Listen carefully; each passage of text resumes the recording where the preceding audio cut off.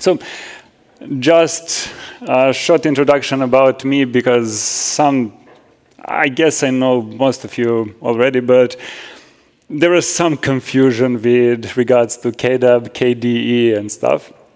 And just want to make sure that you know that KDAB or KDAB is a company, and KDE, which uh, this shirt is hailing from, is the largest C++ open source project in the world. Uh, so a lot of people came to me and said, thank you for working on KDE, which is awesome to hear. Unfortunately, it's a little bit depressing because I kind of feel like an imposter because I'm I'm not as active anymore inside of KDE, so it's kind of like living on the old fame that some uh, existed at some point, and I don't want to take. Uh, the kudos from the people who deserve it today.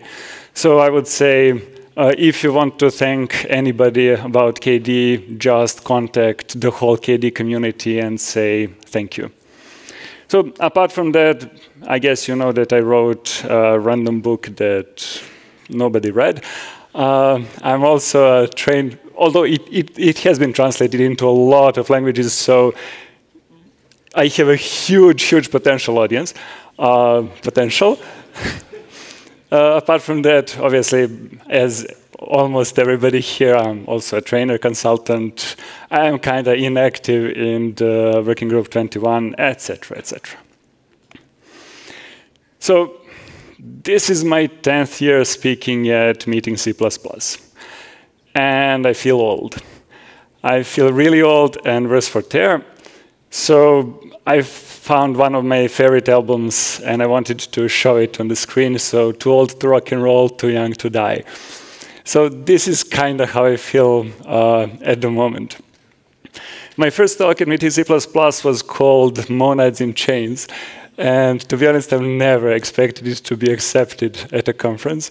Uh, and it was the most involved one, so the most difficult to follow, and kind of it went downhill from there.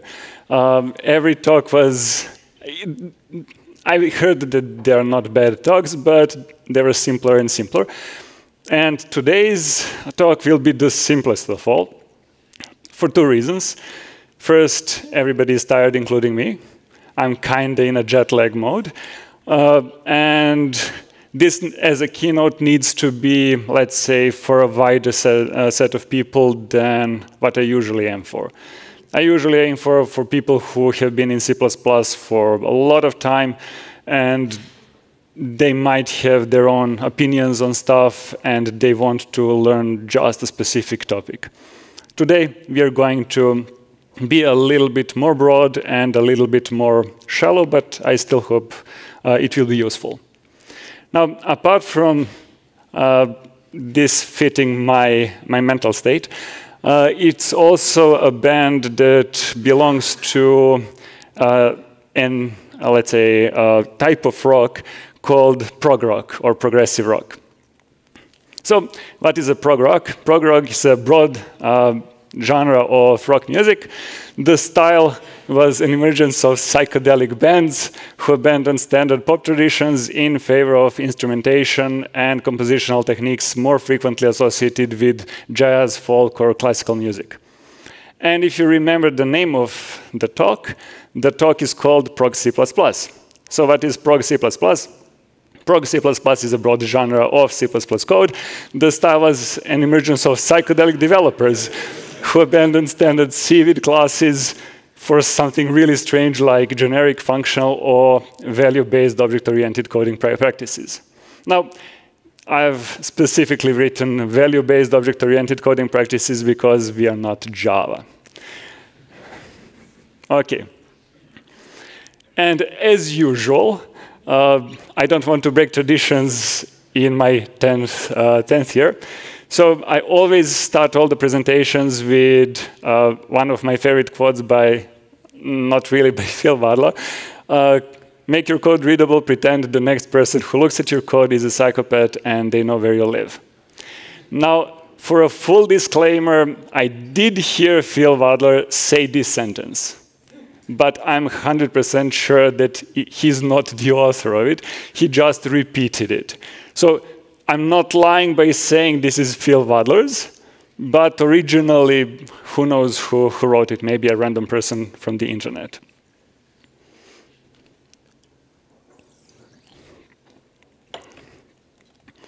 And the second part of the disclaimer, obviously, if you notice some errors in the code and the slides, it's to be expected. This is slideware. This is not meant to be a production code. I'm going to use underscore t suffixes for, let's say, user types.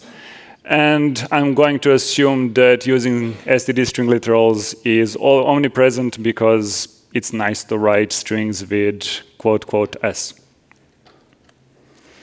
So let's start with the first small topic. Um, if you are following uh, the standardization uh, committee, you have seen that there was a meeting in Varna, which I guess many people, including myself, ignored because who can reach Varna from a normal part of the world? Uh, but they missed a huge opportunity. The opportunity was to organize the meeting in something that's called a constant. Obviously, I'm mispronouncing the name of the, of the city a little bit north from Varna, but I'm doing so intentionally. Constant is one of the most important things in C++. So I'm proposing whoever organizes those things for the next meetup to be in the constant in Romania. So let's start with constants.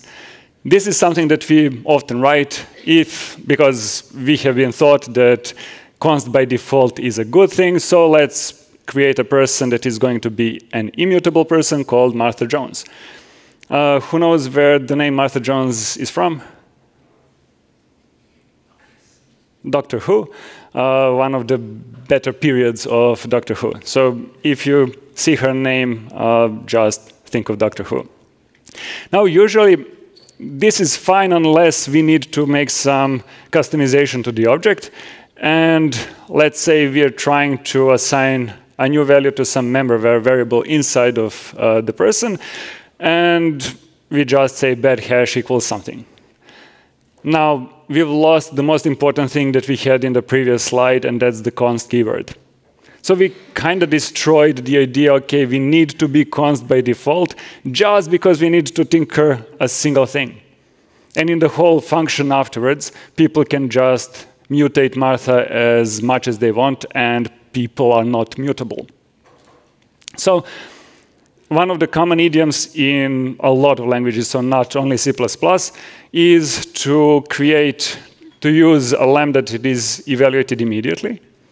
And you just create a lambda, you call it, and from the lambda you return an object. Inside of the lambda you can manipulate, mutate the object as much as you want, but once you return from the lambda, it's assigned to a const variable and you cannot mutate the object anymore. Is this fine? Should be? Okay. Now, just imagine that you don't really need Martha for every single Doctor Who episode. You just want to have Martha when you actually need her. You don't want to pull her out of her, I don't know what, what the actors call that little house where they prepare. So you can just replace the auto with the super new keyword in C++ called lazy. And when you replace it with lazy, the rest of the code doesn't need to change. In essence, as soon as Martha is actually needed, then this lambda will be called and uh, you'll get Martha. Obviously, there are a lot of confused faces. Uh, this is a huge lie. We don't have a lazy keyword inside of C++.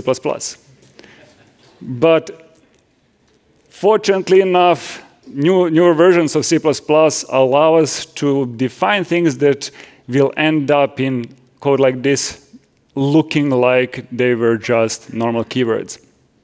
Lazy is nothing more than a normal class template, which accepts a function as its template parameter. So the fact that we don't need to write lazy of something, that's the class template uh, class CTAD, uh, look up the what, what is abbreviation for class template argument deduction. Okay, uh, and so if we pass it a lambda, it will automatically be used the type of the lambda to deduce the type name of fn.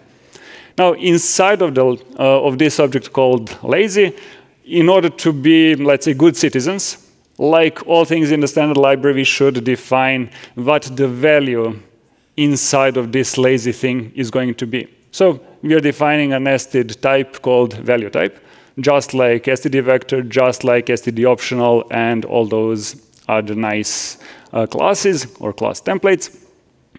And we just we need to implement a way so that the first time we need Martha, we initialize her, and every other time we just reference the old one. So kind of like singleton, but we can have multiple of these lazy values for the same internal type. So we need to obviously to store the function itself, and in order to be, let's say, thread safe, if you need that for implementation of lazy, we can just use the once flag, and if we didn't initialize anything yet, we'll have an empty optional, otherwise we'll have Martha inside of the optional. Now, when we try to convert the lazy value into a proper value, for example, through the cast operator or conversion operator, we can just say call once, and this will be mm, thread safe way that guarantees that Martha will be instantiated only once, however many threads are accessing the, the same object. And after we manage to do that, we just return the reference to Martha. So whenever we talk about const objects, they have two phases, regardless of the way that we use to construct them. So the first phase is we are building the value. During the build-up, the object doesn't need to be const. The first, let's say, rationale why we are allowed to change that object. While we are building the object, nobody else sees it. It's just our object.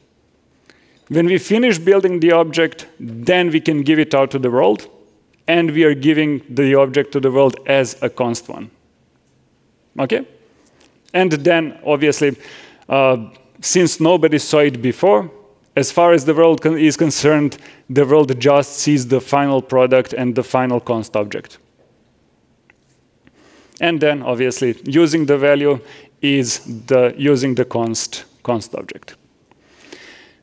So just like we have almost always auto, we also have almost always const. You should define things by default as const unless there are some issues. So the first thing that you don't want to define as const are member variables.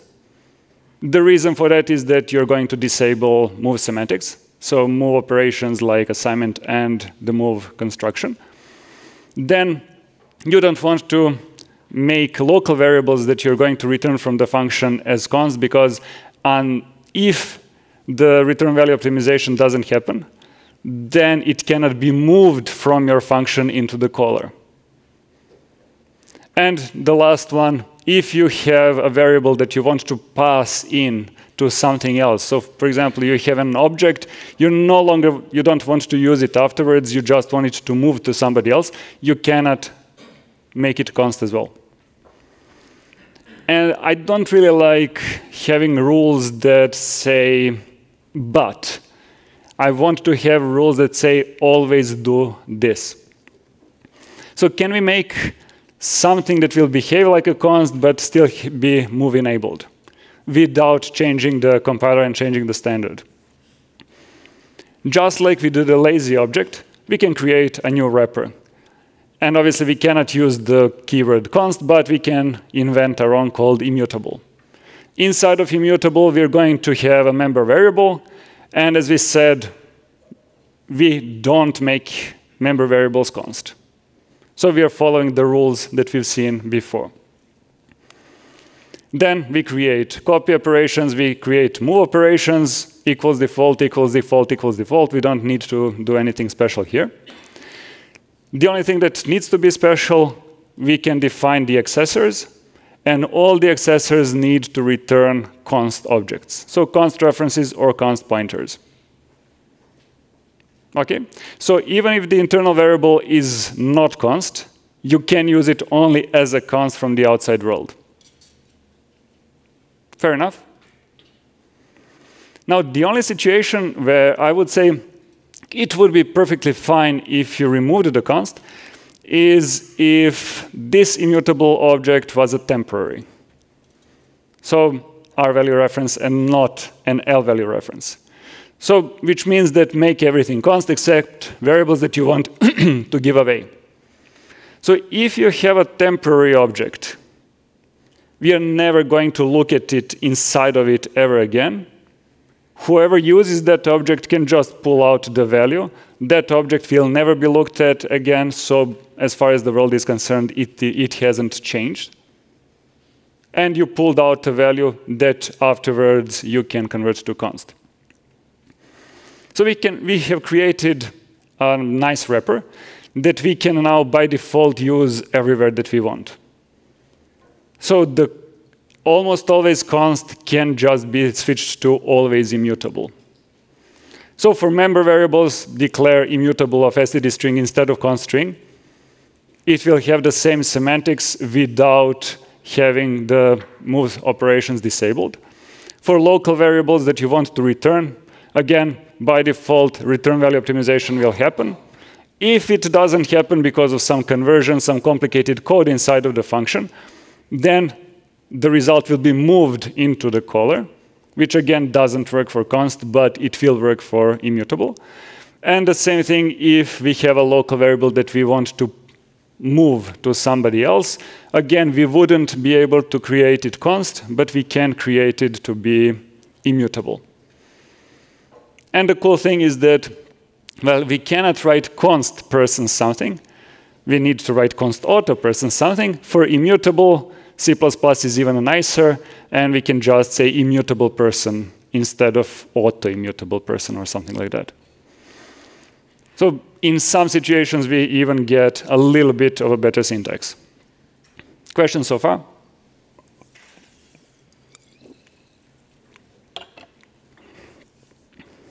If not, we can move on. So we have extended the language to have two new keywords. One keyword is lazy, and the other keyword is immutable.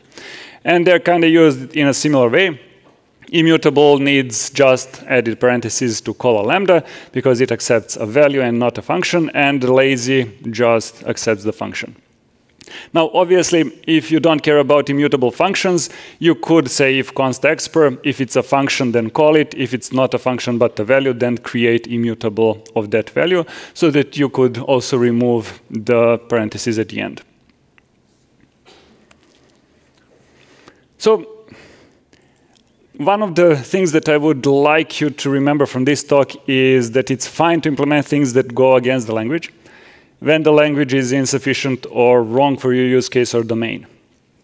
If you remember the keynote from the last year, uh, Nico had huge uh, problems because views from the ranges library are shallow const. And a lot of people from the standards committee think it's fine because it's the way that references kind of behave in C++. They're not deep const, they're shallow const. So it's a let's say, a valid excuse for the, range, for the views to be const views, but still allow you to change the objects that are below. Now, if we followed that the C++ behaves like this, so in the standard library we don't want to do anything against that, we wouldn't have std invoke, which says, okay, language doesn't allow us to call member functions with the parentheses, so we are going to add something in the standard that circumvents that. We wouldn't have unique pointers because somebody could say that new and delete exist in the language and unique pointer doesn't behave like new and delete. But that's not the point. The point of the library is to create something that is safer, especially if you see that the language is lacking in, in a specific place. So immutable fixes one issue of const, so it's perfectly fine to create something like that. Now, the next section is something that as I said, I'm growing old, and people, when they grow old, they kind of get uh, annoyed by everything. So I guess half of the audience understands what I'm talking about, right? So when you're young, you're energetic, you get a code review and you're like happy, okay, this can be better, this can be better. And when you get old, it's just get off my lawn, right? So if somebody makes a mistake that you hate seeing after 10 years of meeting C++, for example, you will get annoyed. And this is one of the idioms that everybody knows about that is documented in lots and lots of books and wiki pages and whatnot. And everybody does a custom thing that is unrelated to what I'm going to talk about. And I really, really hate when I see a custom implementation of the following thing. So we've had the assignment operator in, in a few slides before, but and it was completely fine to say equals default because we just had a single variable inside of that type. Now for persons, they usually have more than one mem member variable. So for example, a name and a surname.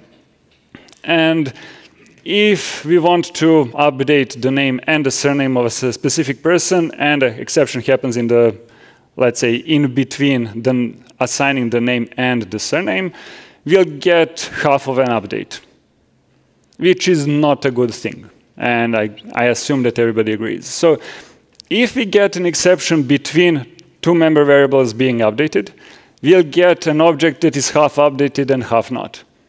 If you want to be on the safe side, you should either have a fully updated object and no exception, or the old version of the object and the exception. And the idiom here that, again, many people ignore is will be called copy and swap, but this is still not it. You create a new person, you initialize the values that you want inside, and you just swap it with the current person. Quite a trivial idea, and again, most of the people don't want to use it for some reason. Now, in the we obviously need swaps for all of our objects if we want to use swaps. So there are several different ways to define swaps, but let's go for the old school one uh, as a friend function. So friend void swap left and right. How can we swap two, two things? We can just say std tie to put all the member variables inside of a tuple of references for the one object and for the other and call std swap because obviously tuples support swapping. And this is not obvious. Uh, this is just from recent C++ standards. This wouldn't work in C++ 11, if I remember correctly. But since we are in the future, then this is perfectly fine code. Now, you've probably seen std tie used for operator less than and similar ones. It's quite useful for swaps as well. So in order to create the full idiom called copy and swap, this is something that always should happen inside of the assignment operator. And this is the only valid way to implement the assignment operator. What we are doing here is we are creating a temporary copy of the original object that we want to assign to, the, to this. If an exception occurs, it will occur at that stage. If the exception occurred, we are just going to exit from this operator, the memory will be freed, and the object will be unchanged. If this thing succeeded, so no exception was thrown, then we call swap. Swap is always noexcept if you implement it correctly. So it will just flip the temporary object and us, and we will become what the temporary object was. When we exit the function, the old values from us will be destroyed and we will have the new values inside. And this is perfectly exception safe code. So proper safety, either I have updated fully, so a transaction, or I haven't updated at all. The move version, similar as the previous one, just with one std move added. So uh, in just in the case if my moving on the stage didn't communicate what happens uh, clearly enough, if we want to assign this circle to the object with the square, we are creating a copy of the circle, we are swapping, And in the end, we have just uh, remained in, in our cells, we have the new value, so the circle. Now, there is one little detail. What is the prerequisite of the copy and swap to work?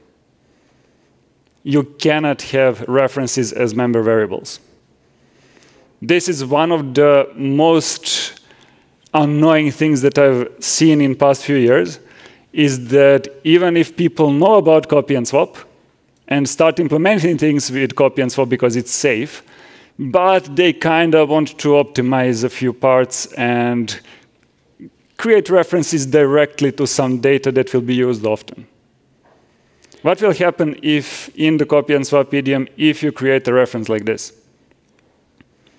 First, creating a copy will mean we are creating a temporary object that references something from the original one. Okay? The next step is a swap.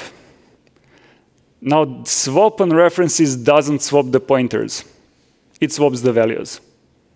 So even if you have created a copy, you're referencing the original object, you're not changing the pointers inside. You're going to change your reference, the value that your reference points to, with the value that this reference points to.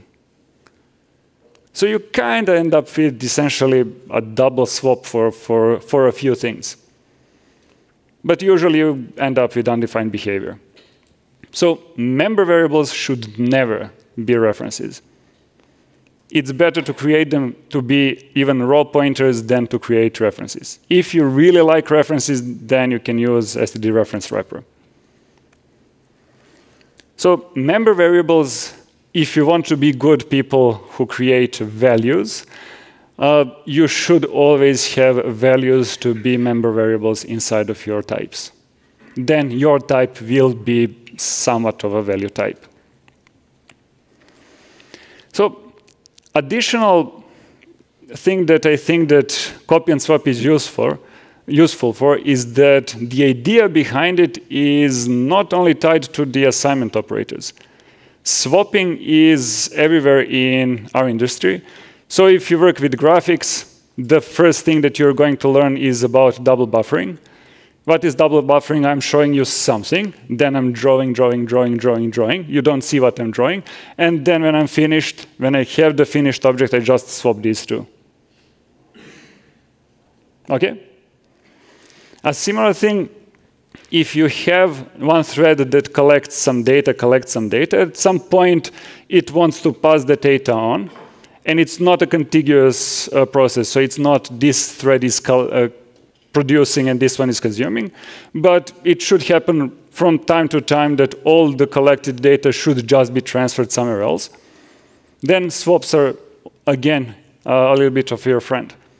So one of the examples where obviously we as C++ developers don't care about garbage collection, but a situation where this is quite, quite often used is the mark and sweep algorithm for garbage collection. So what does mark and sweep do?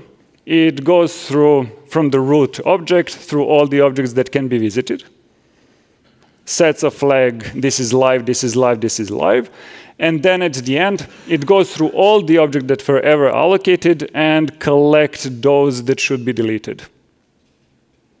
Okay? So the first step is mark, and after that, we just go through all the objects. If the object is marked, then just reset the flag. If the object is not marked, then it's, it's garbage, so it should be deleted. But deletion is often expensive. And you don't want to, for the mark and sweep to work, you kind of need to stop the world in order to process everything. And then when the garbage collection finishes, you continue the world.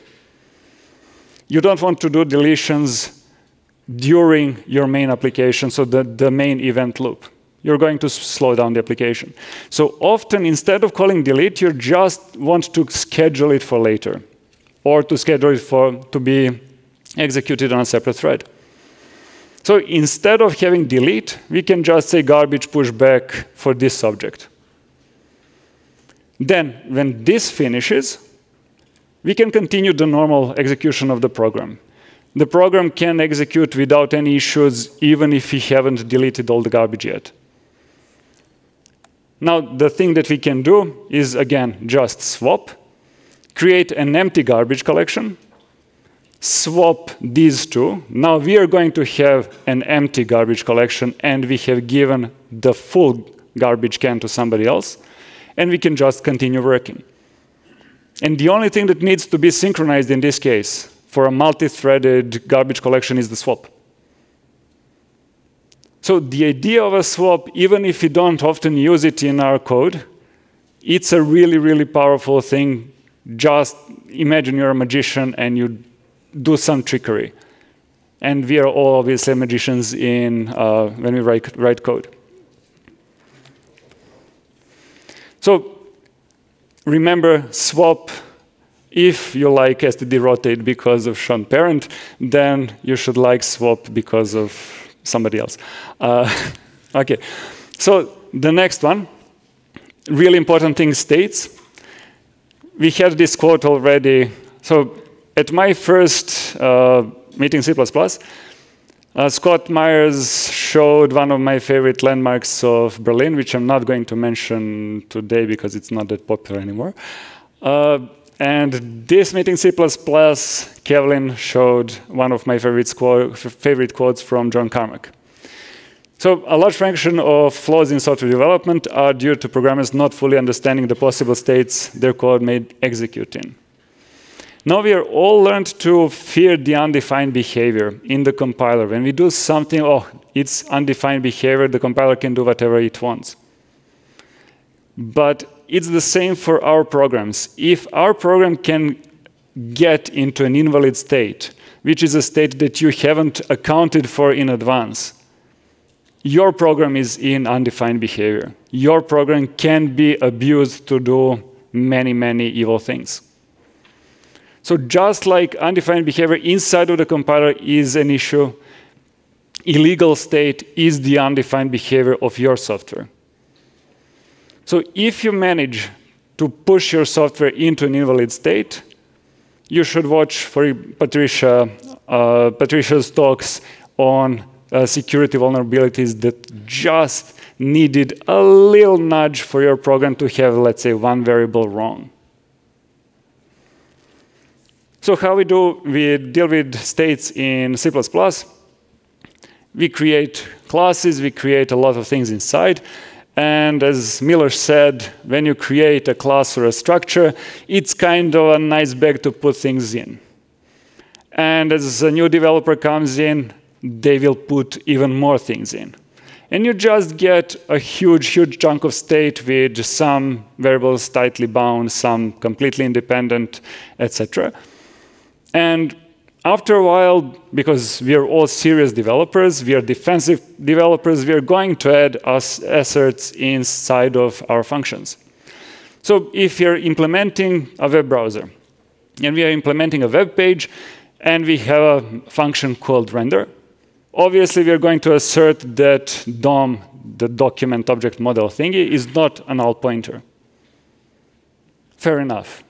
It's good to put asserts everywhere or throw exceptions. Now, when we've rendered the page, we want to execute the JavaScript, so execute event loop. Every uh, lib UI library has an event loop, so JavaScript as well. Inside of that, we also want to assert that DOM is not a null pointer. And in order to execute JavaScript, I guess a web page should be fully loaded. So we are going to assert also that we are not currently in the loading phase.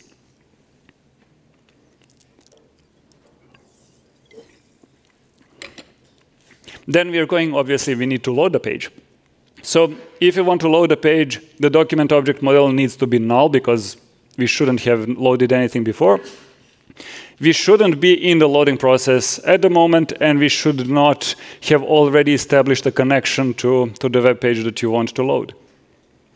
So we have created several member functions for our type. And then we said, OK, this member function doesn't work in these cases. This member function doesn't work in these cases, etc. Is that a single type then? if you disabled half of the functions in some of the states, should, have, should that be in the same type? Obviously not. If you have a cat, you're not going to say, okay, this cat can jump if it's orange. It can drink milk if it's orange. If it's blue, it can, I don't know, walk or lie on its back.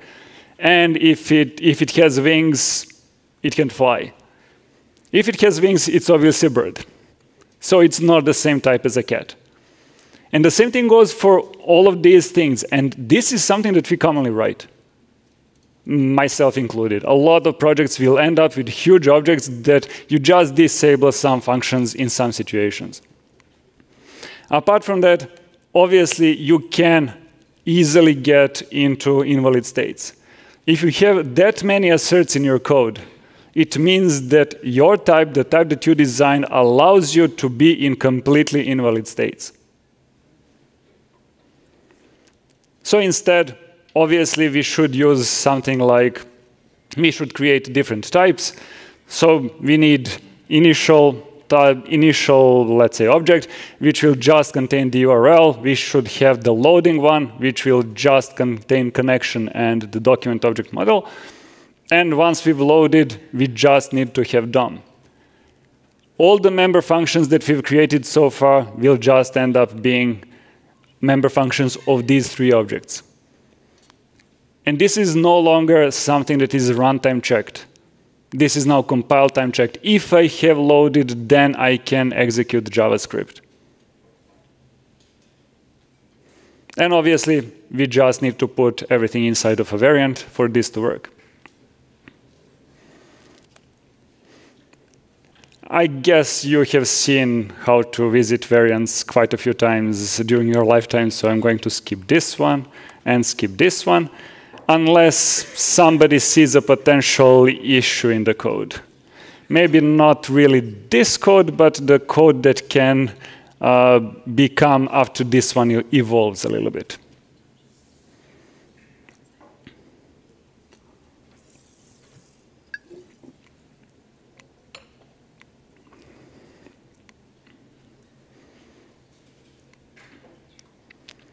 What are we doing here? So if we are in the loading state, we are switching the state to loaded or whatever. Does anybody see something that could lead to undefined behavior? Compiler undefined behavior. Yeah, does. Sorry? Uh, Okay. I didn't.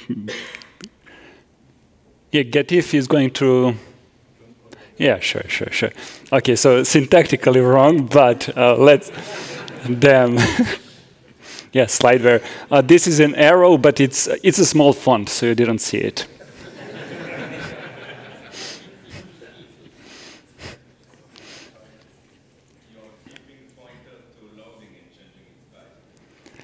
Okay, that's a good comment. So, in the previous one, we have a dangling reference. In this one, we have a dangling pointer.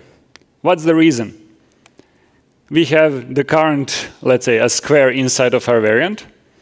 We are creating a reference or a pointer to that square, and we are changing what is, what is inside. So we have a reference to the old object or a pointer to the old object. Obviously, this code that was in the slides, apart from the syntactical problem problems with rendering, uh, is perfectly fine because we are not using those references, we are not using those pointers, so we are not going to reach undefined behavior. But in the future, somebody could just ex extend this handler and add something that is going to use the reference or a pointer. So instead, we need to fix the issue. If we want to be future-proof completely, then we're gonna get, get, again, swap. So we have the old state somewhere. Then we create a page T, which is a new page. It can be copied. It can be just an empty object. And then we generate a new state. When this new state is generated, we still haven't removed the old object from the current state. So all the references, all the pointers are still valid. And once we get out of the overloaded std visit or the if uh, get if, after that we just call swap. And only at that point we are going to get the switch once all the pointers and references uh, are out of the scope. So for example, with the get if, we would just say new page equals loaded t. And after we exit, after all the references and pointers are out of the scope, then we do the swap and we are fine. So again, swap is a really cool and simple algorithm. Now, sometimes you don't want to update the state. So maybe this is not generic enough. If we don't want to update the state, then we don't want the new page to actually contain anything. So we want the new page to be empty.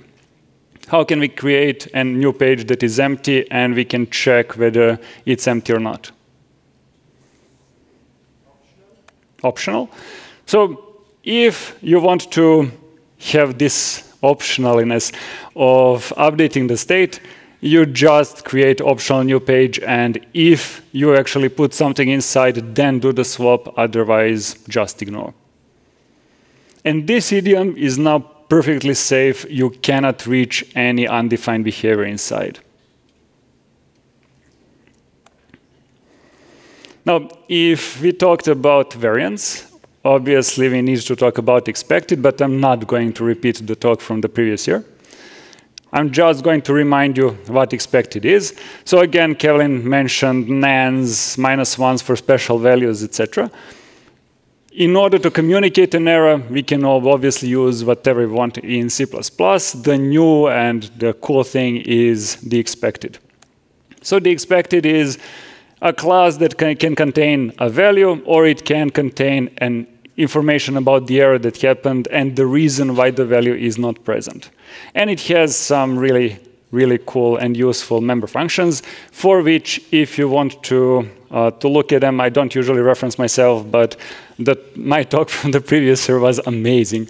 Uh, so you should probably go check out that one instead of anybody else's talks. And yeah, people did talk about expected, but not as good as I did. Thank you. okay, so the thing that I mentioned back then is that if you like the semantics of exceptions, but you like expected because you're not allowed to use exceptions inside of embedded environments, obviously you can abuse coroutines to uh, to kind of simulate the same thing. So if anything that you co co_await on returns an error, you just drop out of the current function and return that error.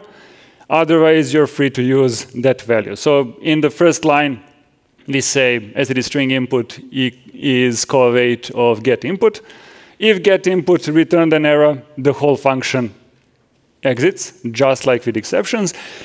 And if the input was properly generated, then this std string input will have a proper value, and we just move on to the second line. Now, again, this is again cool and nice and everything else. And some people even proposed something similar, but a little bit more powerful. Well, some people, Herb Sutter, uh, for inclusion to the standard called, uh, commonly referred to as Herb, Herbceptions or something like that. But all of these things share, as far as I'm concerned, one flaw, even this one. Uh, if you want an implementation for co_await on something like expected, you can check uh, Antoine's uh, really nice blog post.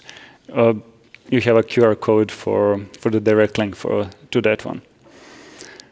So again, to abuse Kevlin's analogy from a few days ago, while we are making lunch, we make mess. This mess is not a problem as far as C++ is concerned. We have destructors. So all the mess that we create while making lunch will automatically dis uh, disappear because of the constructor. The issue that C++ has uh, is with when you get uh, lunch burnt. So you're making rice, and it gets a little bit sticky on the bottom and a little bit darker than the rice usually should be. What does the C++ do? okay, throw an exception, and which means essentially forget about making the lunch, destroy the kitchen, and move on. and this is not the way to handle errors. Just imagine anything that you tried in your life and you failed on the first time. Okay, I, I, I'm off. That's not something that we should, well, we, we do often, but it's not healthy. So Usually we try to find a fix. In the situation with the rice, obviously take a clean pot, pour all the rice that is not burned into the clean pot and continue making lunch. No need to destroy the apartment. And obviously after we found a fix, then just continue the process. So the choosing of the fix is not on the algorithm that is being called. The algorithm can offer you approaches. Do you want to stop making lunch? Do you want to use a clean pot? Do you want to use the burnt rice for tea? Again, matcha. Uh, or you want to do something else with the burnt rice? And then, when you decide, you tell the algorithm, okay, continue with this choice applied. This is not something that is possible with exceptions, nor with co_await, nor with any of, of the previous ones. But again, this is completely normal interaction between humans. And this is my uh, gorgeous attempt at drawing humans.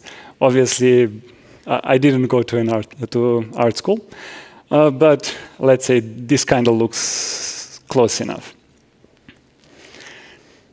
So, if you know the, the song from The Sword in the Stone, again, uh, who knows the song and the cartoon? Or who knows the cartoon? Yeah, only old people.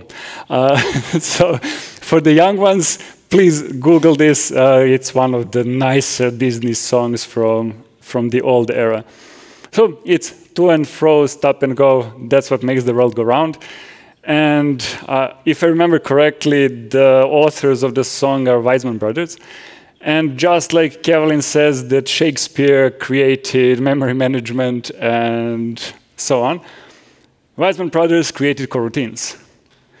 So we have two coroutines, we go to and fro, and each of the coroutine just stops and goes, stops and goes, and that's what makes your program go round. So when we want to communicate between those, those two people, we would just create either enum classes or, again, variants of different messages that can be communicated to and fro. So for example, if we're parsing, so no longer cooking rice, we can have a number parsing error, we can invalid type error on one hand side, and for the fix, you can have use zero instead of whatever you parsed, or skip the current line. Just for an example, usually you will have a little bit more elaborate things with variants of different types. So this picture that we've had, just forget the sticky figures and think of functions. These functions would be called coroutines, and you have seen this picture just with functions a dozen times on previous conferences that talked about coroutines. So a communication between two entities. So if we want to say what a message is, we would say a message is either a, an error message, so the one direction, or um, a fixed message which goes into, in the other direction. Now we can create, we can say a result of our coroutine is going to be either the result, so the value, we have parsed, some, parsed something successful, successfully, or it can be a message containing an error. So we can just say, okay, result t is going to be expected of result and message t pointer. We'll see why it's a pointer a little bit afterwards. And then we can just create our parser function not as something that returns expected, but it returns generator of these expecteds. What does this mean? This means that the same function can return us an error multiple times, just like a normal person. And whenever you hear a new error that occurred, you can say, OK, try this new error, okay, try this, new error, try this. If all of those fixes succeeded, you're going to end up with a result. If you find an error that is not reco uh, recoverable, then you can just say, okay, by this time I really give up. I cannot parse this file. Okay? So we are going to create a message which will be essentially a communication channel between the coroutine and the caller. And any time that we find an error, we're just going to co-yield an unexpected value and uh, with an error inside. Obviously, I intentionally implemented everything without creating custom types just by using std generator so that you see what so that I don't hide anything as a magician does. Obviously, if you uh, were to implement something like this, I would advise you to hide all of these ugly things like std unexpected std address of message into a dedicated object. So don't use the generator directly, but let's say create a wrapper on top of generator which provides you with all of these. Now, in the situation on the caller side, we have coawait parse. The first time that we don't get a result, we are going to propose a new fix. The second time we don't get a result, but an error, we are going to propose a new fix, so we have a while true. And in the situation where we got a proper result and not an error, we're just going to exit out of the while loop because we have success successfully parsed the whole file. So coroutines while we usually talk about them in the terms of asynchronous tasks and yada yada, can be quite useful even for much more uh, nuanced error handling than exceptions allow us than anything that C++ already has allowed us ever in history. Obviously, I'm lying, but I'm trying to sell you something. Any questions so far?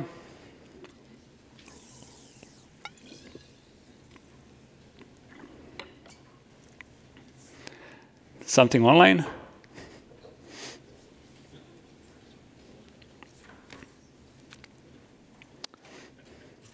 Um, yeah, I'm looking into the online questions. So,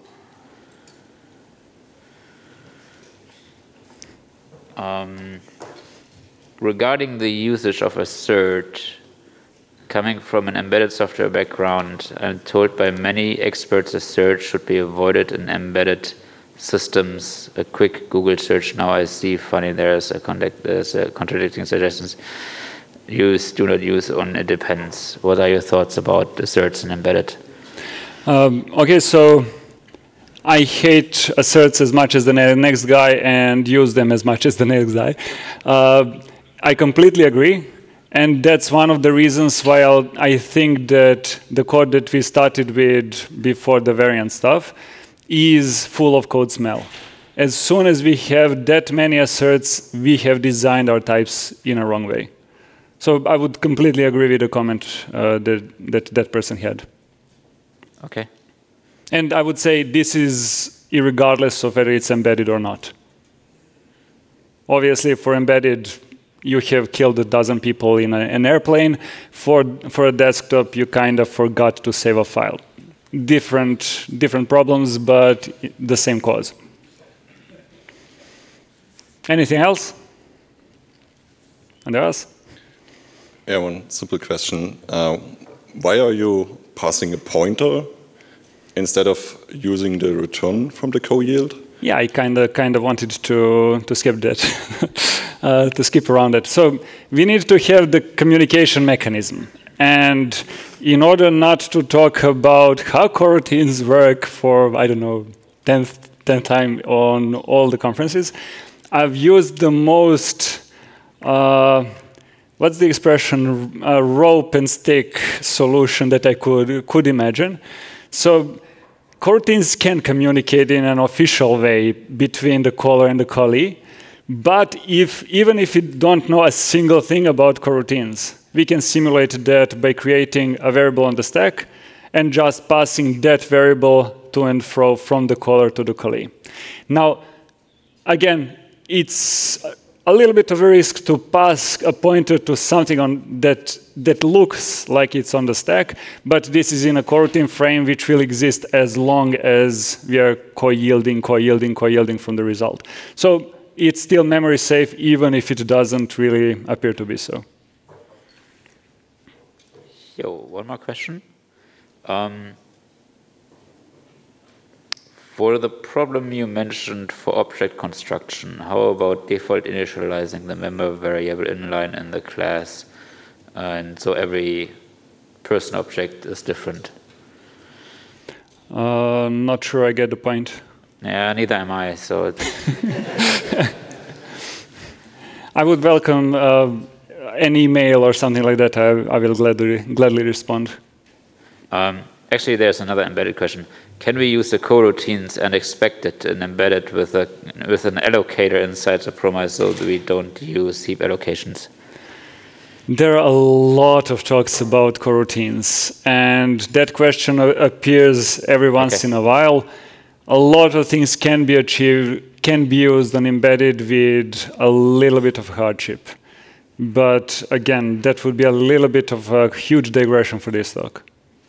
But I would, again, send me an email. I'll gladly point you to some of the people who exactly talked about the same, the same ideas before. Sure. All right, let's carry on. Okay. Okay, so again, if you hate this syntax, just wrap it inside of a type. If you even hate the um, local uh, variable message, then invest several days into understanding how coroutines work. Again, from the past year, uh, there were really nice talks, two of them. I'm not going to mention Phil Nash. Uh, because last year I, I mentioned the other guy and I don't know whether Phil got offended or not, so I'm going to mention him this time. So Phil also had a really great talk about coroutines in the previous meeting C++. So check out both of those and you'll kind of get some vague idea that you don't want to deal with coroutines, but use the already implemented things like std generator. Okay, so as far as the errors go, once we really have a value, so not an error, we can just say co-yield the final result. So the main point of this idiom would be, so it allows you to continue in the process, uh, in, in, the presence of errors, but you can still bail out if you reach something that you cannot handle. Now, the penultimate small section. We are going a little bit down, down the hill. The coroutine stuff is usually a little bit more, let's say, annoying. Uh, so we are going back to the simpler, simpler topics. If you didn't see regular revisited talk by Victor, Victor, uh, you should, again, when it becomes available. He explains in let's say, mathematical level of details, what values are, regular is, etc. And it's well worth watching. Uh, as far as I'm concerned, I'm not going to use any mathematical definitions of values, just use, let's say, your better judgment until you watch Victor's talk. So the, the only thing that I would like to differentiate is between values and variables.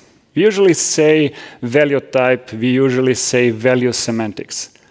That's not the type of a value is a thing, the value type isn't. Reference and value semantics are not an entity of values or for references, it's about assignment. So a value is something that the variable refers to. A value is number 42. A value is a name Martha Jones. Value is not something that you can change to 43. You can change the variable to be 43 and it will point to a different value. Okay? So when people say values, when, when I at least try to say values, I'm usually referring to some const object that is somewhere in the memory. If you're allowed to change that object, it's no longer the same value. Okay? So if I asked you, we have a unique pointer of const something, is that a value?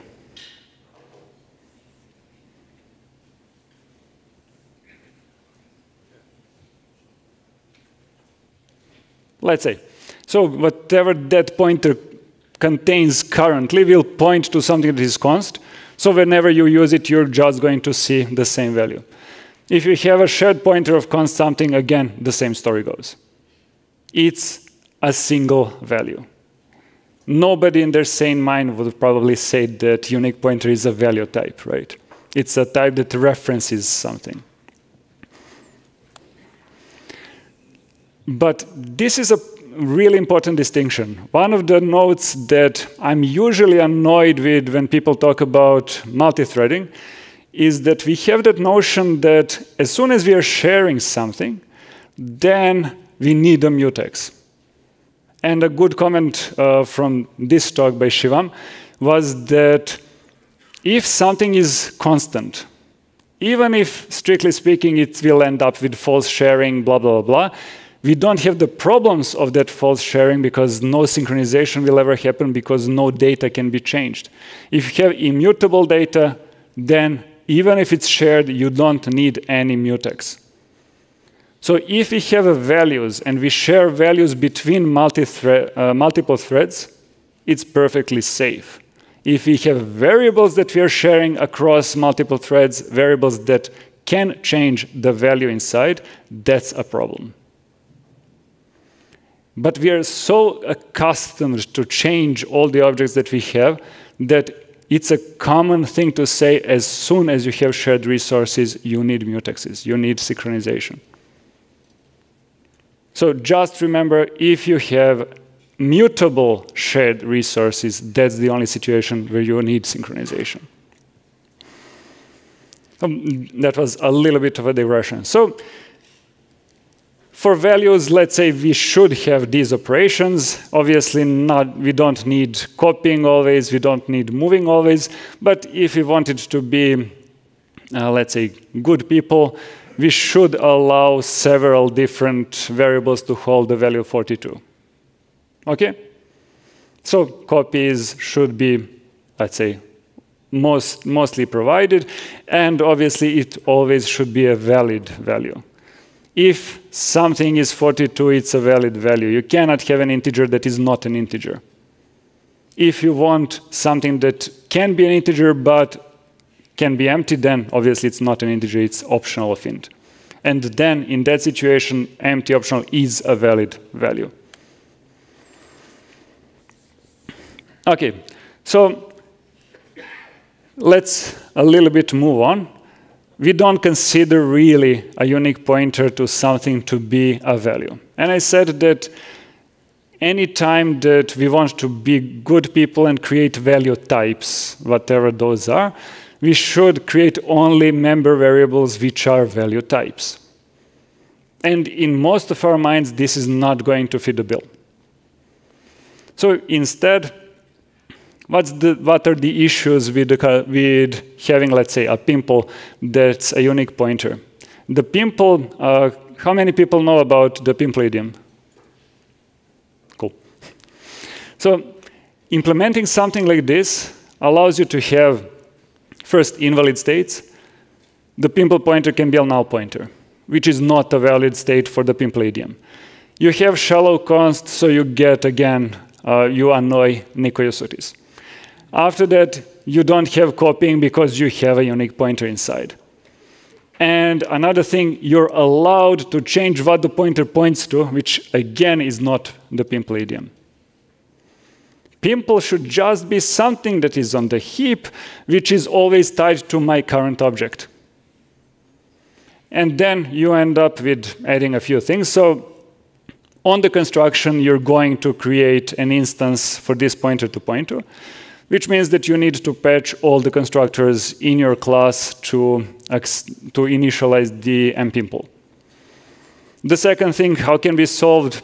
So the, the const propagation, instead of allowing your, let's say, people who implement the rest of the class, instead of allowing them to access the pimpl directly, you provide member functions that, depending on whether they're a const qualified or not, they return a const reference to the pimpl or they return a mutable reference to the pimpl.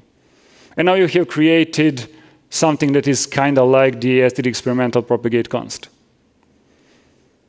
So you kind of disallowed the default behavior C++ that const is shallow. You have implemented the proper thing. If I'm const, then everything that I depend on is const.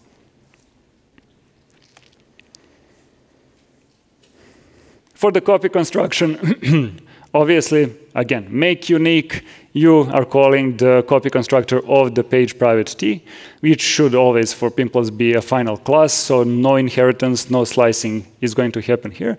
And obviously, the assignment operator you're going to implement with the copy and swap operator.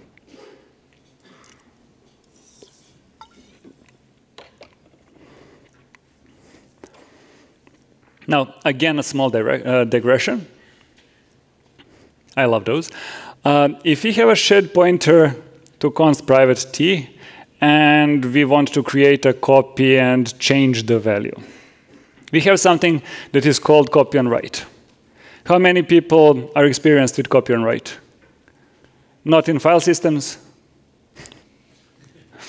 Okay, so copy and write is an excellent idea. It works awesomely well in file systems, and it works abysmally bad in C++ and most languages. And usually, they're not really needed for us. For example, in Qt library, all the classes are let's say collection classes are copy and write. And then you have some strange rules saying, well, if you try to use this with a range-based for loop, it's going to be slow because it copies the whole, whole collection. But I'm just reading the collection. Yeah, but I don't know that you're creating an iterator to something and you will be able to change it. The fact that you are not going to change it, nah, it's, it's not important. I'm going to copy the whole collection. But that's really not needed in C++. We have a common thing in C++. If somebody passed a, a const ref to something and we need a copy to change it, just copy it. You don't need some smart class implementation to think about when you want to, this to be copied or not, just explicitly say, okay, I want a copy, I don't want the original. So in the situation where we have the, the shared pointer to a const object, that's a perfectly fine, perfectly safe thing to have in your program. Multi-threaded, no locking, because it's a shared const resource. If you want to create something new out of it, you don't want to create a smart API that works like copy on write.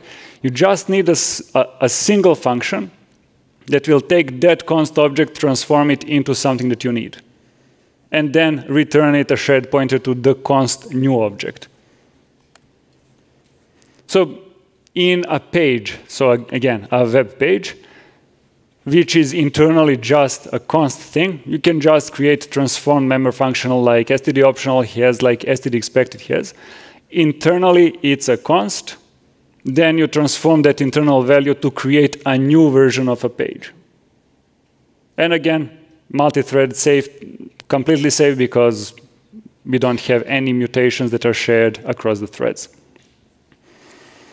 Now to get back on the pimpl thing, we have created a few different things just to fix the issue of the unique pointer with pimpls. Now, those issues don't exist only with pimpls. Anytime that you need a pointer inside of your as a member variable, and we said we want values, unique pointer is going to be bad for you. So instead, instead of every time implementing all the patches that we've had for, for the unique pointer, just create a new class template that can be called heap value or value pointer or whatever you want. And when you want to create a new instance of this object, it will behave as an object on the stack, but it will be allocated on the heap.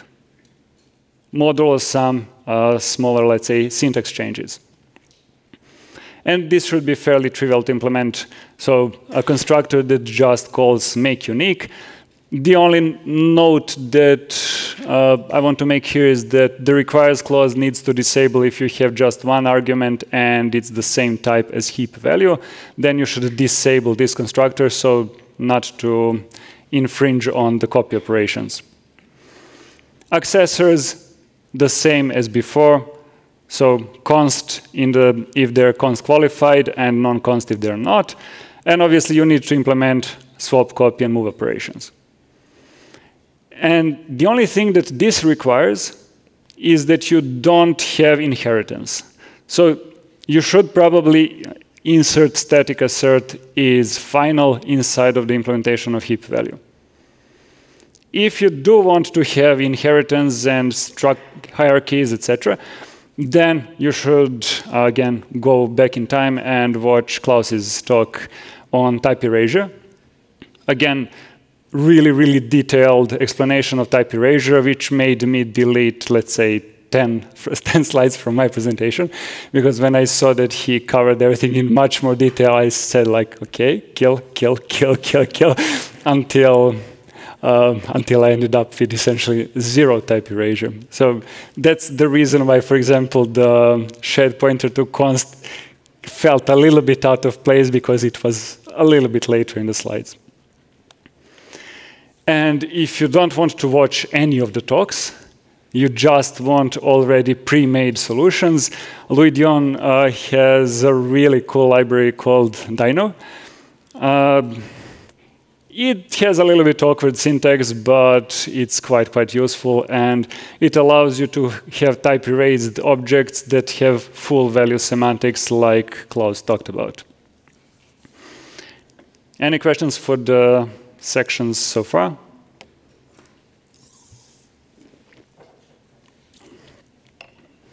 Again, online. Yes, I think we have a question on expected again. Um, so expected has and then or else and transform and transform error and monadic operations. Aren't those better than using coroutines? Okay, good question. I do like those member functions, and I would say they're better than coroutines with uglier syntax because you need to pass lambdas, and lambdas in C++ are really, really verbose. So if you chain and then transform or else, etc., you will get with a huge chunk of random characters, angly brackets, and all of those brackets. Uh, with coroutines, you get a syntax that looks more like normal C++ code, just with additional keyword inside.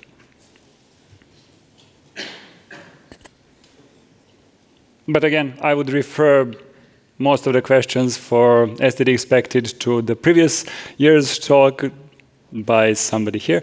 Uh, so if there are no more questions. Well, actually, I would. There's a cute question I have, which is related to copy and write.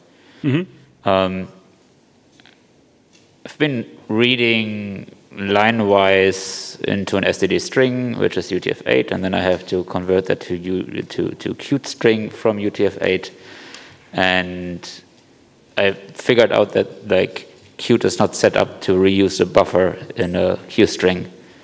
So calling from UTF-8 always um, allocates and gets in a new string object. Um, would it be possible like to reuse an allocation inside a copy and write object when you only have like one reference in it? I would say so, yeah. Usually, if you have ref count and the reference count is one, and somebody, let's say, you move to somebody else, it's like a unique pointer. Nobody will access it anymore. You can do whatever you want inside. Okay. Okay.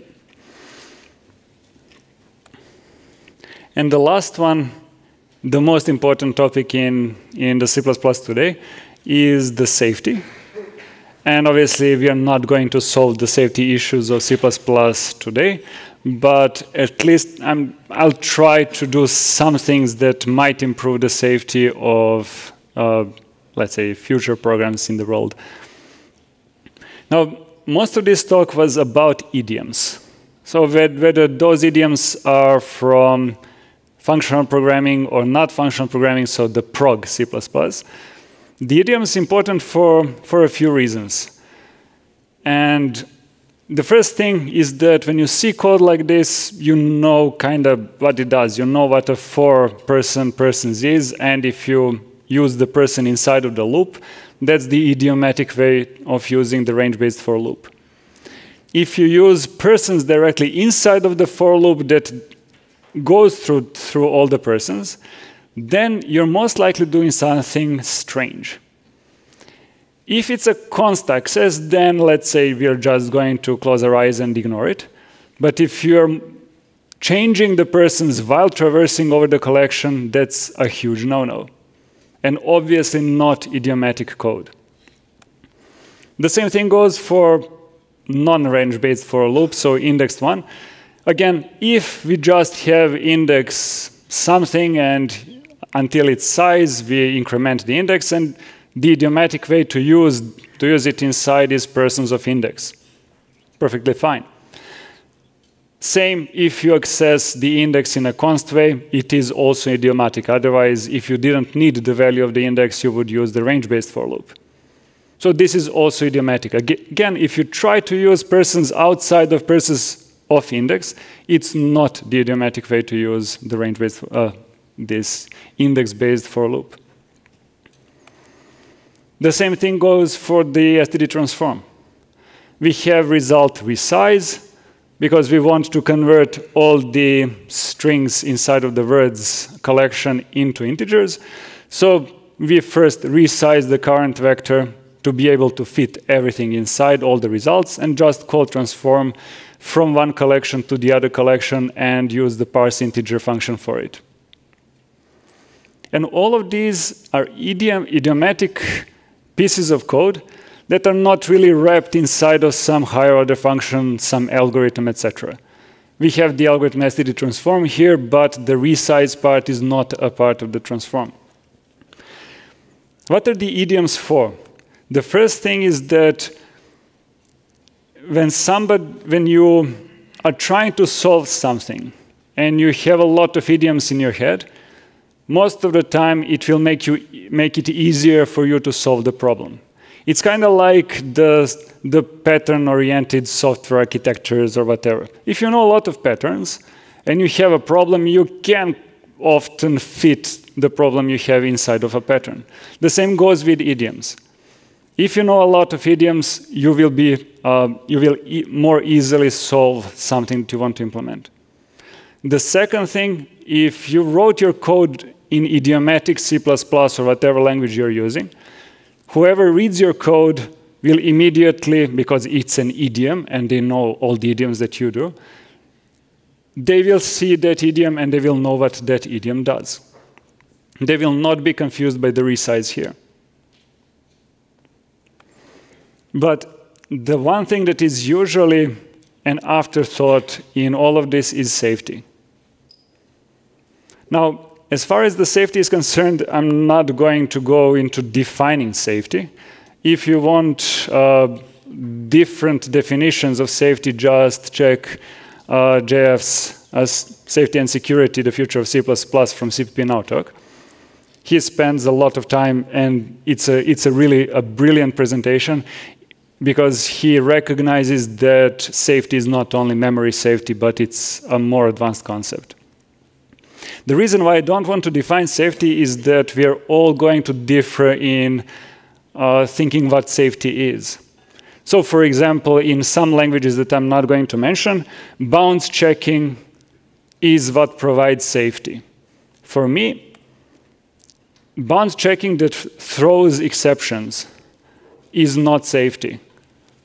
There was a research uh, for, not from C++ because we never catch exceptions, but in Java, uh, where you are forced to ca catch exceptions, so you need, if you call a function that is declared, I'm throwing this exception, you need to catch it somewhere. The research was, they investigated a lot of, a lot of open source code. For the libraries, they discovered that 40% of all catches are either empty or just logging. For normal applications, it went up to 90%. So throwing exceptions and then ignoring them, it's not safety. Obviously, the language is safe, it's not your undefined behavior, etc. Your code is in undefined behavior, you ignored an error. So this dot at on a vector or whatever Rust calls it or some other, let's say, emerging languages uh, for, to replace C++, they're not solutions for, for the issues. They're hiding one issue with just providing, okay, the user is to blame. It's no longer the fault of the language, now the user is at fault. Which is cool, obviously. It's better that the users are to blame than, than the language developers. But it doesn't really change any fact. It doesn't make the code any safer. Now, in the idiom that we've had before, bound checking in this idiom is not needed. The unsafe operation here is index-based access of a vector. This is mathematically provable that this index is never out of bounds. Why do I need, if I iterate uh, through this a million times, do I really need it to go if, if this is greater than zero, if this is less than size? No, it's provable that this index is a valid in-bounds index for this array. Now, obviously, you can get into issues. You can get a segmentation fault in this place, but not because of this code. Something might access persons and change the persons, and then you're out of bounds. But it's not the, uh, the fault of this code. It's the fault of you first for sharing uh, persons between two threads without any mutexes, without any locking and it's essentially the fault of that other code which is changing the persons. The same thing goes here. Usually when we have a destination iterator, we are never allowed to say dot begin.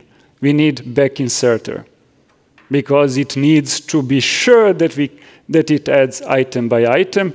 And if you just say dot begin, it means, okay, I'm sure that I have enough space, I have enough elements inside of this collection to store all the results.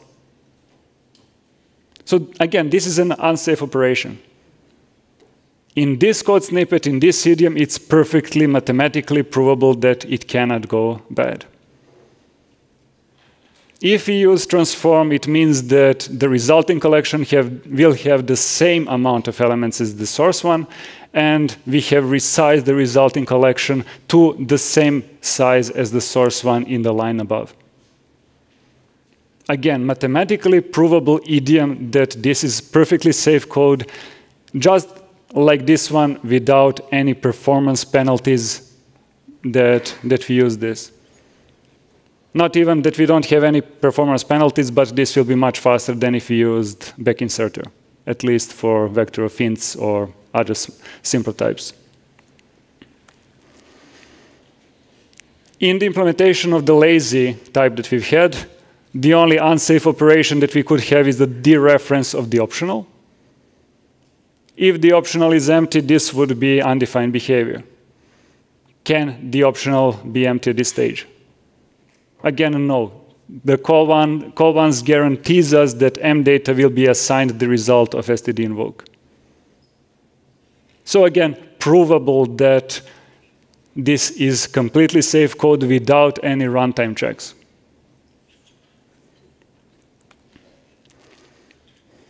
The same goes with, with the heap value.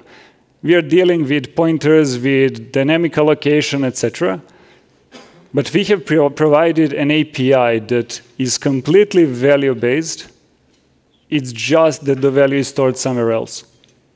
Obviously, it would be a little bit more difficult to, to prove all of the attributes for this one than for the previous solutions. But again, this is easily provable, that this will behave as any other value inside of your code. Now, let's see one, uh, one more idiom that will emerge. Who has any issues with this code? Okay, so we all know that obviously we should not have dot lock and dot unlock. We should replace it with something like lock guard of, or unique lock. Fair enough? who thinks that this code is not safe? Why so? Mutexes are really fundamentally unsafe. It's really hard to get right. Okay. Okay, the second answer I liked better. So the first one uh, is, let's say, more philosophical one. Mutexes are really hard to get right. And that, that one is true as well. So if we use this mutex here and forget to, to use it in another place, then uh, the fact that we have a lock guard here doesn't really fix anything. But again, it's, it wouldn't be a problem of this function, but it would be a problem of a function that accesses the same locked data from uh, without before locking. But the second one, uh, deadlocks, do you, do you see a deadlock that can just occur because of this code? Obviously with three dots being anything in the world. Recursion. There was recently an article that or maybe a paper for the standard. I don't really remember that we shouldn't have standardized mutex. We should always use recursive mutexes. And that would be a completely fine fix for this deadlock.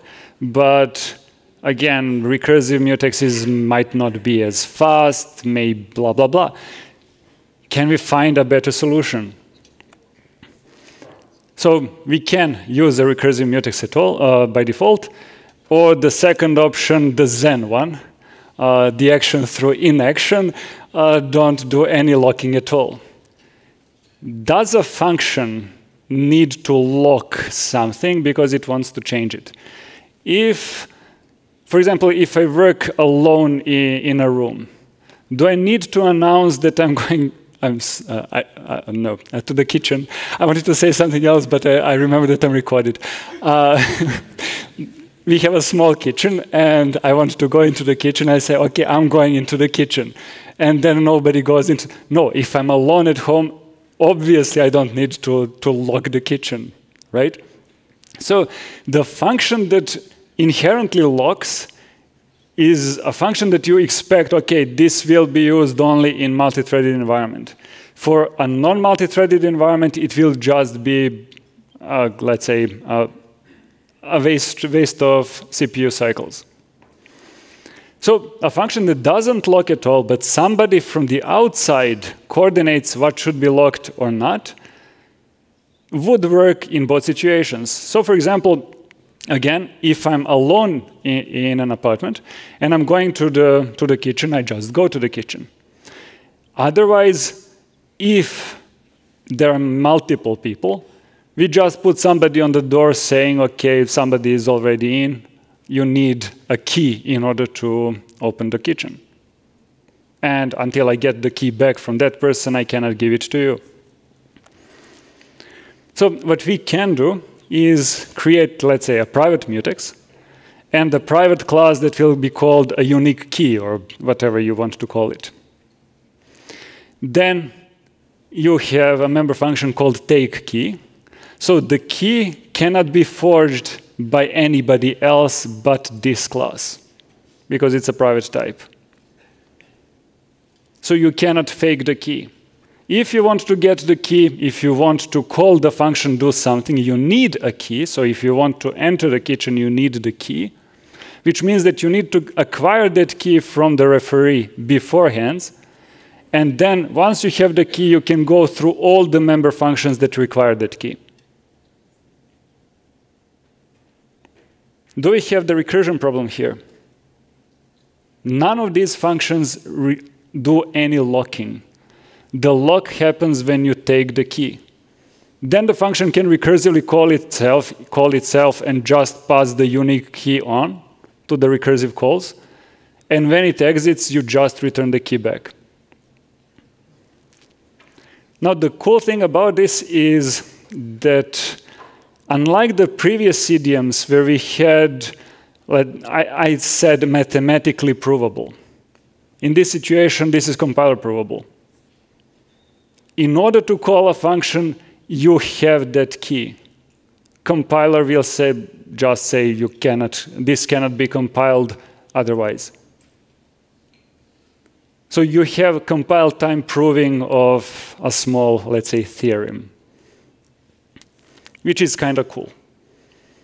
If you can make your, let's say, idioms to look like this, obviously you should always. Just one uh, last digression to wake you all up.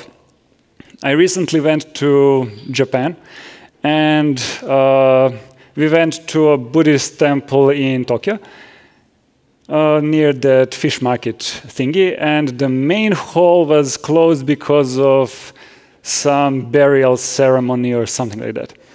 And we went into the second or third hall. So the prayer room, obviously, I'm, I'm not really a Buddhist, so I was a little bit out of place there, but it, it was really nice. Uh, and while we were walking out, uh, my better half saw a pamphlet. And obviously, those pamphlets were meant for tourists to take and take home, right? But she is a stickler for rules, and we were also in Japan, which is a, a, country that loves rules. So she took the pamphlet to a lady that worked at a desk and signaled, okay, can I take this? Obviously, the lady didn't speak any English. And she was like smiling, she was really, really nice. Then she just jumped up we were a little bit surprised that at that point. Instead of just nodding, somebody stands up and she started walking. And we were like, okay, we just asked, can we take this pamphlet home? And she did like this. Uh, okay, we need to follow her. And the situation was like in the, uh, the meaning of life, the last scenes from Monty Python.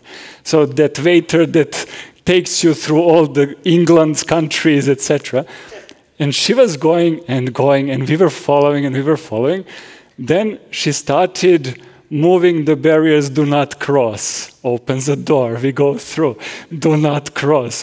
And we go, we have no idea what's going on. And at some point, obviously, she's still smiling, and we are smiling, obviously, although really confused. And at some point, she takes us to this small statue of a bull. And we were like, okay, now what? so, okay, it's a nice statue. And at some point, she pointed to the pamphlet. The pamphlet had a picture of the bull. on, and obviously, she understood us that we want to see the bull. And she was so so, so kind in flip flops and everything else to take us through the whole closed building because of the burial or whatever to see the bull. And we were so confused that we didn't even take a picture of the bull. This is from Tokyo Views. the only thing that, that my better half managed to do is to pet the bull. and that was it. So really, really, really strange story, but it, it was amazing. And the bull is, is really nice now that I see it on the picture. Now, the reason why I'm mentioning this is that obviously we were talking about idioms and stuff. If you're developing your own idioms, please make them correct. If you see something because somebody in your team didn't understand the language, so they had a language barrier with C++, and think that this is meant to be atomic int because it works. And they make it an idiom, and then it goes around the world as an idiom. No. All the idioms that you create should be either backed by standards, uh, standard or the mathematics or something else. You need to prove all of your idioms in order to use them safely and properly.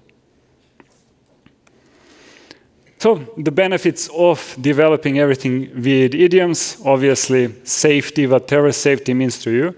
For each of the idioms, you would prove the type of safety that you want. If you find a bug and you see this is an undefined behavior somewhere, you know it's not in the idiomatic code. So you're just going to remove all of those things and triage the bugs to, uh, to find a place where you didn't use the idiomatic code.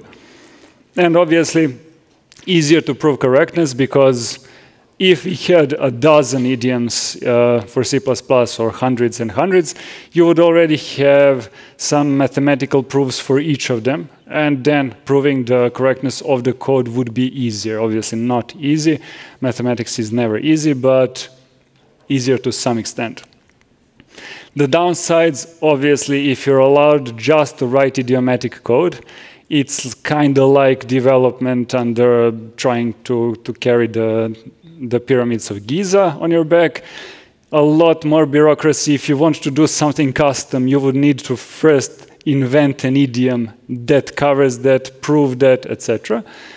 And the last, but not the least, if you have a huge code base, which is obviously not going to be 100% idiomatic, you would need to rewrite most of it in order to just use the idioms. Now, the good thing is that you would be able to rewrite parts by parts and not like porting to a different language uh, where you would need to rewrite the whole project or create FFIs, etc. So it's not that big of a downside compared to some of the alternatives. So for the guidelines, because every talk should have some kind of guidelines or a summary, um, if you follow the TDD uh, as, again, uh, talked about by Phil, you should also add IDD, which is idiom-driven development. If you find a bug in your code, don't just fix the bug. Think of an idiom which will, which will stop you from making the same bug ever again.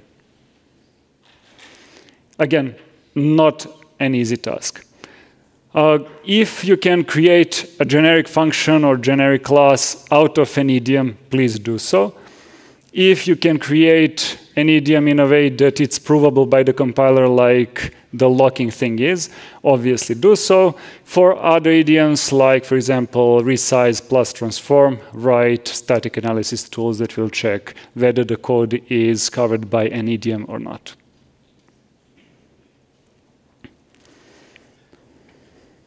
Okay? And that's it for me.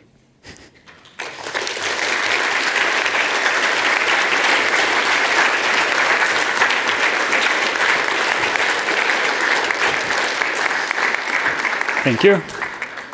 Any questions?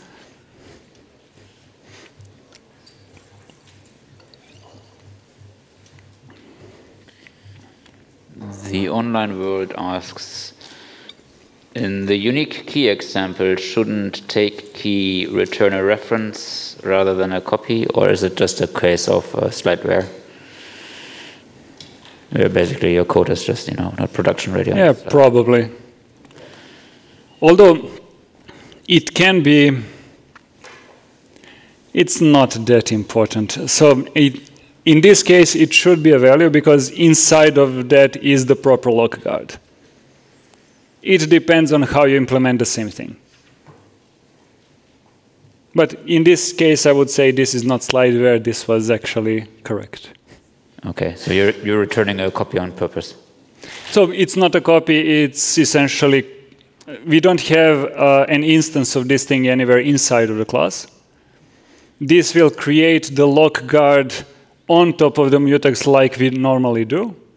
And it will just wrap it inside of a secret type which will be inside of the key. So it will be a move or let's say return value optimized uh, result and not a copy. Okay. Yeah, thank you for the talk. Um, you're on the right slide. Are you aware of the CopperSpice libguarded library? Have you played with it? Uh, I've heard about it. They are actually, when I remember it correctly, implementing different versions of that for different use cases. So, the, but the to be honest, thing I, is the same. I really haven't checked the library. I know that they're doing some, let's say, interesting things uh, with regards to proper C++, but I've never had an opportunity to work with the library, and I wasn't curious enough to invest my personal time into it. libguarded is basically a separate library that only concerns about this. So it's only Mm-hmm. implementing the guard part. Okay, uh, send me an email with, please. Hi, uh, thanks a lot for the talk. My question is about the copy and swap idiom. Uh, is the recommendation to always do assignments through the idiom, or uh, was that the recommendation basically? And if yes, uh, what about the performance penalties you might uh, incur in some, some cases? Okay, so uh, I like the question. It's not a clear answer. If if you prefer safety to performance, I would say always. If you have situations where you want to allow yourself to have invalid states, it's fine, but then make guards that those invalid states don't somehow trickle down and destroy your program. So I would say by default, I would use copy and swap. If I detect some performance penalties in the, in the places where I care about, then I would maybe think about how to optimize stuff and not go the other way around.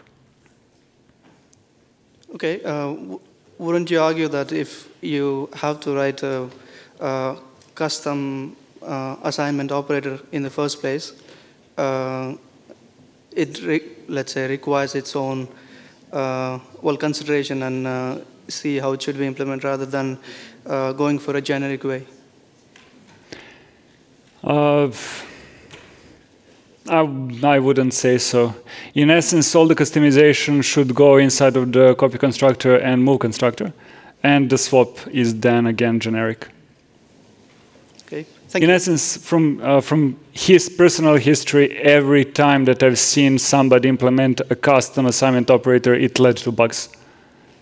So again, maybe it's the get off my lawn thing, but I would rather have the code that I don't spend hours debugging because I'm expecting something correct in uh the most trivial function in a class. Okay, thank you. Uh, hi, thanks for the talk. Very nice.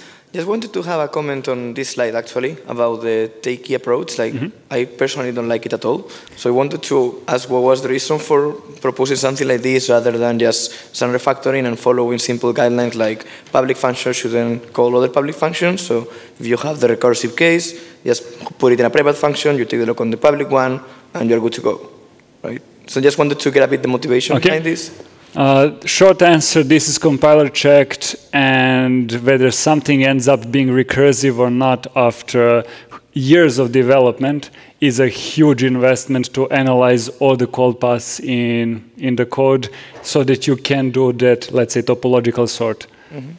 So I would say, again, for me, compile time, something is always better than something else. Okay, okay, fair. Hey, cool talk.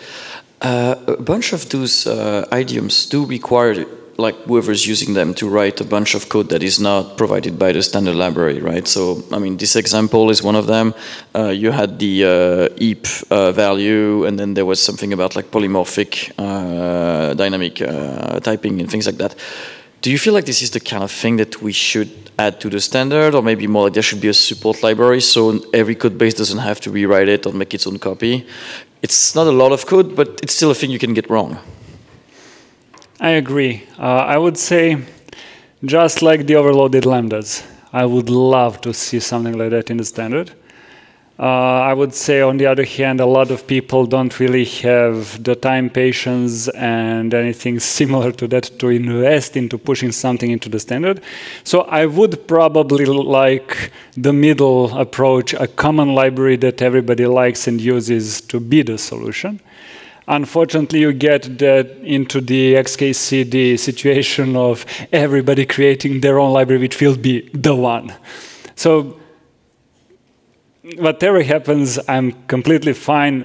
As you said, this is quite short code, uh, set of code snippets, just like overloaded is. So it's not that difficult for everybody just to copy paste into util.hpp. or stuff.hpp. Been there. yeah, of course. Well, first and foremost, I want to say thank you for the really great keynote. Um, that was very nice. Um, I, I do wonder, like, you know, if you would like to see yourself or other people popularize the term progressive C++.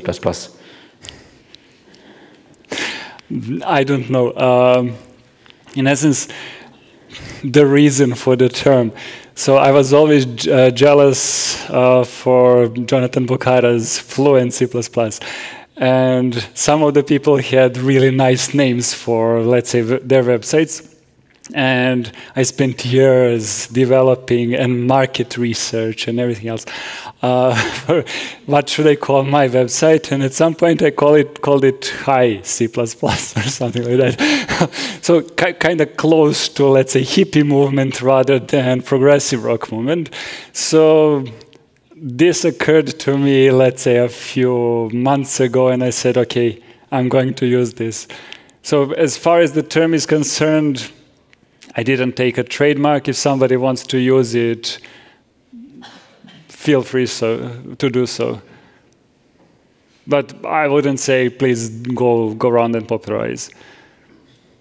Okay. Um, the next question I would like to have is like, where do you see, or like, is it like idiomatic to contemporary C++, the keynote we had last year? Okay, contemporary C++ I like for a general uh, C++ thing.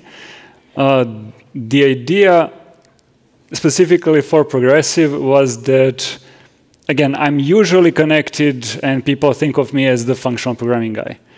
But uh, you want to break that mold or? Kinda. I did. I don't want to. I never wanted to take the functional programming and push every single thing inside of C++. It was more, I'm working on something and I see something that I could improve, and it happened that some of the idioms were from FP. And then people started commenting on, yeah, but do you hate object-oriented? No. Why, why, should I, if I'm, uh, I don't know, functional programming aficionado, why should I hate anything else? I think that all of those paradigms have something to offer, even combined, and that's the reason why I ended up with prog progressive C++. Okay. Um, let me see if there's any more questions.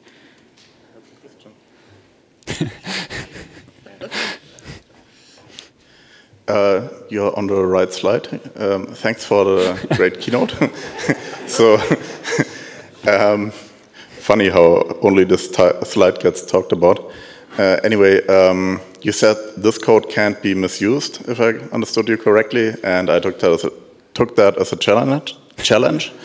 Um, so no, the the thing is, um, I've used uh, a very similar approach uh, in our software, and it turns out I didn't think correctly, or I wasn't aware of this uh, issue. So it turned out to have a bug. The real issue why this got re-examined was that there was a compiler error with C++20 or something. Um, anyway, the unique key uh, being private doesn't mean you can't instantiate it if you're outside. It just means you can't refer to it by name. And so with okay. decltype, you can get the type and then instantiate it. But anyway, you can sure. you can argue that this is like defined private public, so intentional abuse. Um, but there's another thing I think that could, could happen by accident, and I think this is if you have two objects of this class, and you take the key from one and then invoke a method on the other. Um, and the solution I took um, was to use uh, unique lock, even though I don't need uh, some of the features, uh, because it allows you to get the mutex pointer and then write an assertion that you actually that the lock is actually for the right mutex. Sure, that's a great point.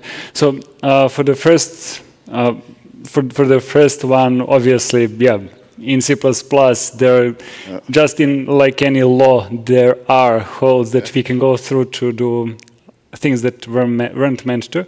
So yeah, decltype of result of the take key and construct that. Um, For the second one, obviously uh, true. Uh, if you want to have multiple in instances of this object, then you would need to have some kind of an ID as well, whether it's a pointer to the mutex or something else. I agree. Thanks.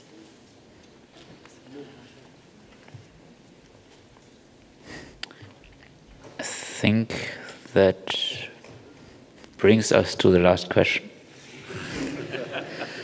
Um, so you're not on the right slide, but we don't need to switch. Um, do you recommend using copy and swap instead of the compiler-generated assignment? It's kind of connected to uh, one of the previous ones. If you if you primarily care about safety, I would say yes. If you don't care about exceptions, then no. Okay, thanks. Then to add to that, if you prefer even more safety, always L value qualify your assignment operators. So you cannot assign to a temporary. Sure.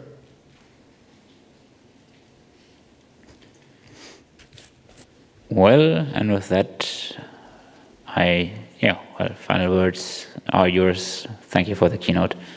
Thank you for inviting me.